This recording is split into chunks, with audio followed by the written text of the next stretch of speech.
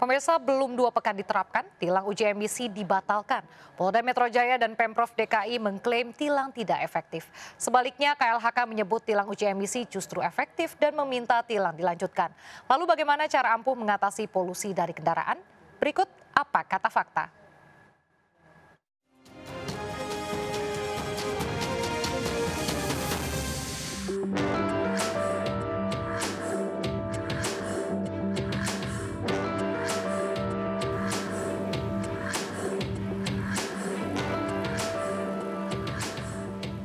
Uji emisi kendaraan bermotor untuk mengurangi polusi di ibu kota kini sudah tidak diberlakukan lagi.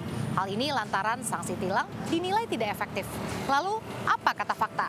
Uji emisi dilakukan dengan menggunakan mesin exhaust gas analysis yang ditempatkan pada saluran pembuangan kendaraan, lalu dinyalakan selama beberapa menit. Mesin ini akan mengukur kadar gas buang yang dihasilkan seperti hidrokarbon, karbon monoksida, dan juga nitrogen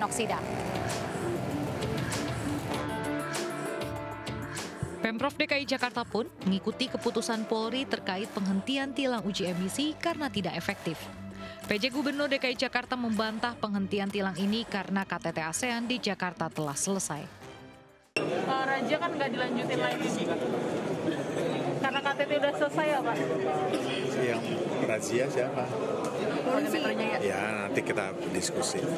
Intinya gini, kan polusi itu, uji emisi itu para ATPM sudah melakukan uji emisi seperti Astra gratis sampai Desember.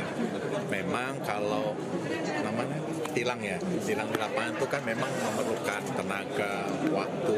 Ya kita cari yang efisien aja.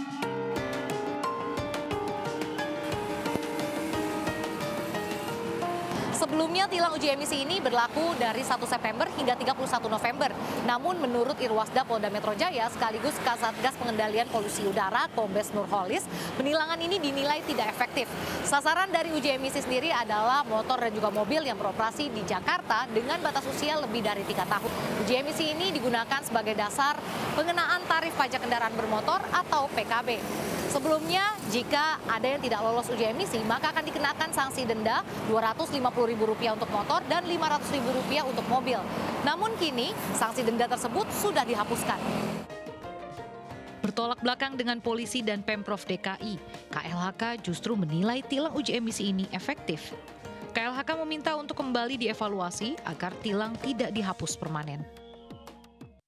Menurut kami efektif karena itu mendidik kita untuk tanggung jawab terhadap uh, barang milik kita sendiri, kendaraan bermotor kita sendiri, memastikan kendaraan kita aman, kendaraan kita apa uh, awet, kendaraan kita memakai bahan bakar yang efisien, uh, tidak menimbulkan pencemaran.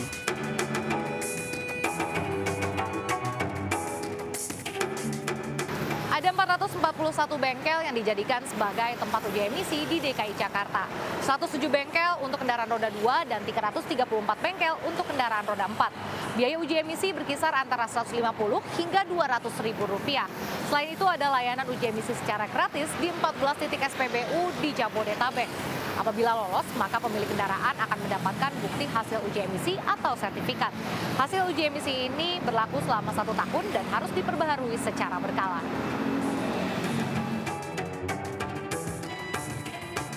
Meski tilang dihentikan, sanksi bagi kendaraan yang tak lolos uji emisi tetap akan dikenakan tarif parkir tertinggi di tiap kantong parkir milik Pemprov DKI Jakarta. Deteksi didapat dari plat nomor kendaraan yang telah terdata oleh Dinas Lingkungan Hidup.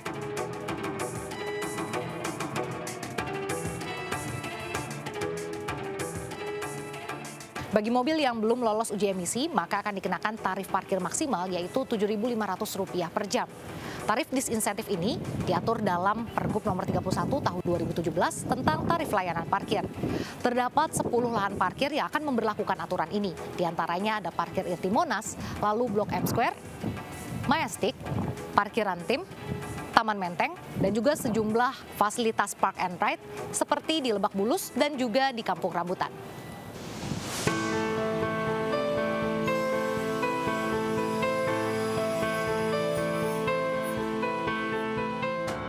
Bagaimana tanggapan Bapak justru tilang uji emisi dihapuskan? Ya, itu merupakan bentuk pembangkangan terhadap amanat peraturan perundangan ya. E, sebenarnya itu sudah sesuatu yang wajib dilakukan. Setiap kendaraan bermotor yang beroperasi di jalan wajib memenuhi baku mutu emisi. Nah, konsekuensi dari pasal itu kan harus ada pengawasan gitu. Pengawasannya siapa yang berwenang? Polisi, uji emisi atau dalam konteks pelaksanaan dalam bentuk razia emisi Eh, kemudian ada tilang, setelah ditilang kemudian ada denda, itu sebenarnya untuk menciptakan efek jerah. 24 juta unit kendaraan di DKI Jakarta, katakan hanya mungkin hanya 20 atau 50 saja yang kena tilang, kena denda gitu ya.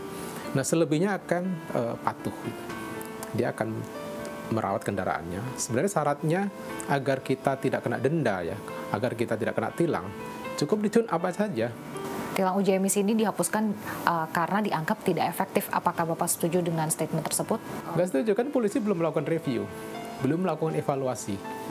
Baru dilakukan trial satu kali, ya, tanggal uh, 25 uh, Agustus ya, trial, uji coba ya, di mana tanggal 25 Agustus itu tidak ada konsekuensi tilang. Kemudian tanggal 1 baru dilaksanakan dengan konsekuensi tilang ya. Kenapa baru sekali dilakukan kemudian muncul uh, statement tidak efektif? Kan itu bohong itu. Efektif atau tidaknya kan dilakukan dulu paling tidak tiga bulan baru dievaluasi gitu. Ini baru sekali sudah dikatakan tidak efektif. Lalu jika sanksi tilang tidak efektif, maka cara apa yang paling efektif untuk mengurangi polusi dari kendaraan?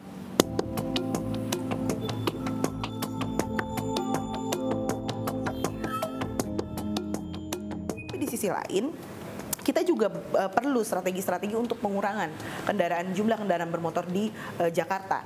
Uh, bagaimana caranya? Salah satunya adalah dengan mengendalikan uh, jual beli uh, jual beli kendaraan di uh, Jakarta yang hari ini pertumbuhannya itu sekitar satu juta unit per tahun gitu. Jadi um, tidak hanya uh, memperbaiki uh, transportasinya jadi transportasi ini kita masih punya banyak catatan soal transportasi. Tetapi ketika transportasinya tidak diiringi dengan penurunan penggunaan kendaraan bermotor maka itu juga akan uh, menjadi sangat crowded gitu. Mungkin teman-teman bisa melihat uh, bagaimana busway-busway di jalanan moda transportasinya itu berebut ruang dengan kendaraan-kendaraan pribadi yang akhirnya membuat kemacetannya justru jadi semakin tinggi begitu. Jadi um, ada langkah-langkah yang perlu dilakukan secara sinergis dan tidak tidak sifatnya uh, kontradiktif begitu. Termasuk misalnya fasilitas-fasilitas untuk pesepeda pejalan kaki itu sebaiknya uh, itu yang harus dimasifkan secara cepat